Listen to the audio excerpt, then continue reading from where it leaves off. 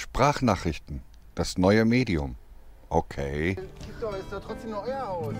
Ja, unser Haus, aber auf dem falschen Grundstück. Hey ho, hier also eine neue Sprachnachricht von mir. Eine Missionsgesellschaft kauft ihre alt gewordenen Missionare aus dem kommunistischen Gefängnis frei. Sie dürfen sich in ihrem Heimatland zur Ruhe begeben. Durch ein Grundstücks- und eine größere Geldschenkung an die Missionsgesellschaft wollen sie den Missionaren ein kleines Haus bauen, das fertig sein soll, bevor sie in ihrem Heimatland ankommen.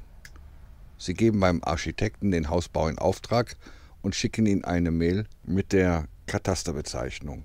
Durch einen Hörfehler jedoch übermittelt der Architekt dem Generalunternehmer ein falsches Grundstück auf der Liegenschaftskarte. Der Architekt konzipiert das Haus und beauftragt also einen Generalunternehmer, der jegliche Bauleistung übernimmt und übergibt dann das schlüsselfertige Haus der Missionsgesellschaft. Begabte Menschen, schweißtreibende Arbeitskraft. Inhaltliche Vorgaben der Missionsgesellschaft wurden umgesetzt, damit die Missionare ein Zuhause haben. Als diese jedoch mit dem Hausschlüssel an dem richtigen Grundstück stehen, steht da gar kein Haus. Die Berechnungen waren richtig, die Arbeitsleistung und das Material waren gut ausgesucht, und alle wussten um die geschundenen Missionare, und das motivierte sie inniglich.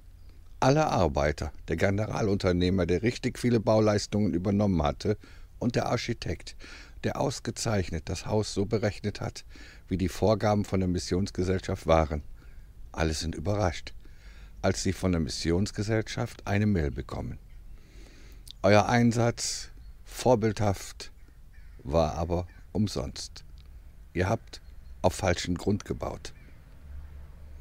Vielleicht fragt sich einer von uns auch, warum so viel Energie ins Leere läuft, obwohl unser Dienst großer Begabung und Herz ausgeführt wird.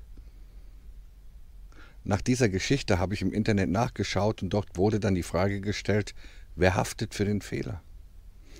Aber viel schlimmer finde ich, dass die motivierten Arbeiter und der Architekt und die Missionsgesellschaft den Missionaren nichts vorzuweisen haben. Euer Einsatz war umsonst. Ihr habt auf falschem Grund gebaut.